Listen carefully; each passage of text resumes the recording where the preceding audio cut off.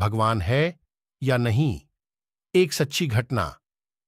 अक्सर लोग सोचते हैं, भगवान होते हैं या नहीं, क्या भगवान होते हैं, क्या भगवान सच में हैं? इसी बात का जवाब जानने के लिए एक सत्य घटना का उदाहरण देखिए। ये सच्ची घटना जम्मू कश्मीर के कुपवाड़ा सेक्टर की है। इंडियन आर्मी के पंद्रह सिख जवान अपने मेजर के नेतृत्व में हिमालय के ऊंचाइयों में बनी आर्मी पोस्ट जा रहे थे। अगले तीन महीनों तक उन्हें इसी आर्मी पोस्ट पर रहना था। हिमालय की बर्फीली ऊंचाइयों पर बनी इन आर्मी पोस्ट पर सैनिकों की तैनाती हर तीन महीने पर बदलती रहती है। ज़ाहिर है, उस पोस्ट पर जो आर्मी की टुकड़ी थी, उन्हें इस आने वाली टुकड़ी का बेसब्री से इंतज़ार था, सर्दी का मौसम था और बीच बीच में बर्फ़ पड़ने की वजह से कड़ाके की ठंड पड़ रही थी। इससे इन दुर्गम रास्तों पर सफ़र और भी मुश्किल हो गया था।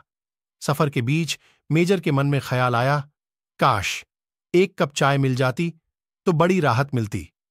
काश इसलिए क्योंकि ये देर रात का समय था और इतनी ठंडी में कौन ही दुकान खोलेगा एक घंटे ऐसे ही पैदल चलने के बाद। ये काफिला सुनसान में बनी छोटी सी शॉप के पास रुका जो कि चाय की दुकान लग रही थी। दुकान पर ताला पड़ा हुआ था। मेजर ने कहा जवानों चाय तो किस्मत में नहीं, हाँ थोड़ा आराम कर लो यहाँ पर। सेना की इस टुकड़ी ने करीब तीन घंटे पहले सफ़र शुरू किया था। एक जवान बोला, सर, ये चाय की दुकान है, हम चाय बना सकते हैं, बस ये ताला तोड़ना होगा। आर्मी मेजर सोच में पड़ गए। ये एक अनैतिक सलाह थी, लेकिन ठंड में थके सेना के जवानों को एक कप चाय से बड़ी सहायता मिलेगी, ये सोचकर उन्होंने अनुमति दे दी। किस्मत उनके साथ थी। दुकान में चाय बनाने का सब सामान और बिस्किट के कुछ पैकेट भी थे। फटाफट गर्मा गर्म चाय बनी। चाय बिस्कुट से तरोताजा होकर आर्मी के जवान आगे बढ़ने को तैयार थे। मेजर ने सोचा, उन्होंने दुकान तोड़ी और बिना दुकान के मालिक की आज्ञा के चाय बिस्कुट लिया। लेकिन हम कोई चोर मंडली तो है नहीं। हम तो आर्मी के अनुशासित जवान हैं। मेजर ने एक हज़ार रुपये पर्स से निकाले और दुकान के काउंटर पर एक डिब्बे से ऐसे दबाकर रखा कि चाय वाले को आसानी से मिल जाए। मेजर अब अपराध भावना से मुक्त हुए। उन्होंने दुकान के दरवाजे बंद कर आगे बढ़ने का आदेश दिया। तीन महीने का समय बीता। इंडियन आर्मी के इस टुकड़ी ने बड़ी ज़िम्मेदारी और सजगता से आर्मी पोस्ट पर ड्यूटी निभाई। सबसे अच्छी बात यह थी कि इस दौरान हुई कई झड़पों के बावजूद सभी सही सलामत थे। अब समय आ गया था कि अगली टीम उनकी जगह लेने के लिए आए। वो दिन भी आ गया। उस टुकड़ी ने आगामी टुकड़ी को जिम्मेदारियाँ सौंपी और वापसी को निकल पड़े संयोग से।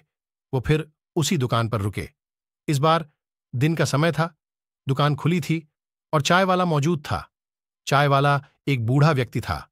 इतने सारे ग्राहकों को एक साथ देखकर वो बहुत खुश हुआ। सभी को उसने चाय बनाकर पिलाई और नाश्ता दिया। मेजर चाय वाले से बात करने लगा। मतलब वो कहाँ रहता है, कब से ऐसे सुनसान जगह पर दुकान चला रहा है, बूढ़ा अपने अनुभव और कई कहानियाँ बताने लगा।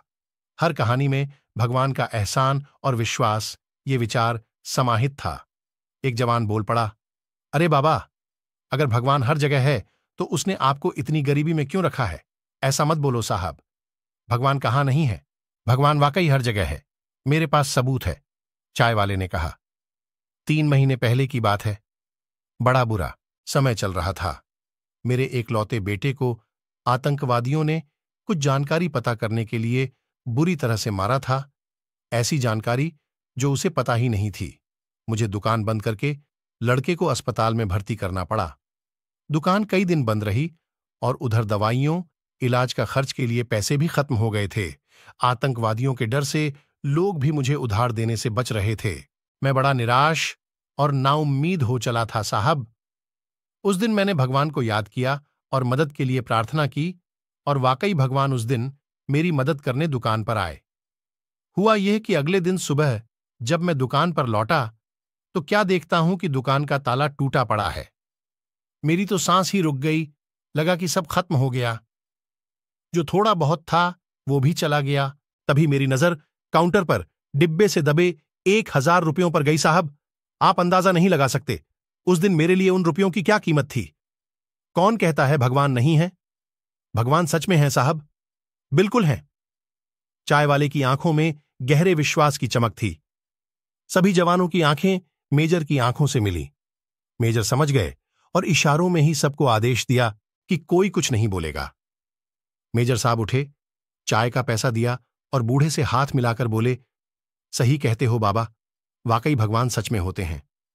और हाँ चाय के लिए शुक्रिया, आपकी चाय बहुत अच्छी थी। सभी जवानों की आँखें मेजर की आँखों से मिलीं, जो कि थोड़ा नम हो चली थीं। पहली बार उन्होंने ऐसा नोटिस किया। सेना के जवानों के लिए उस रात वो दुकान भगवान कभी कभी हमारे मन में ख्याल आता है, भगवान होते हैं कि नहीं? हम सोचते हैं, भगवान हमें चमत्कार दिखाकर अपने होने का सबूत दे। भगवान की सत्ता ऐसे कार्य नहीं करती। नहीं आपके लिए उन्हें खुद को सिद्ध करने की आवश्यकता या मजबूरी है। भगवान तो एक बच्चे के समान निश्चल हैं, सिर्फ़ प्रेम और विश्वास से ही उन्हें पाया जा सकता है।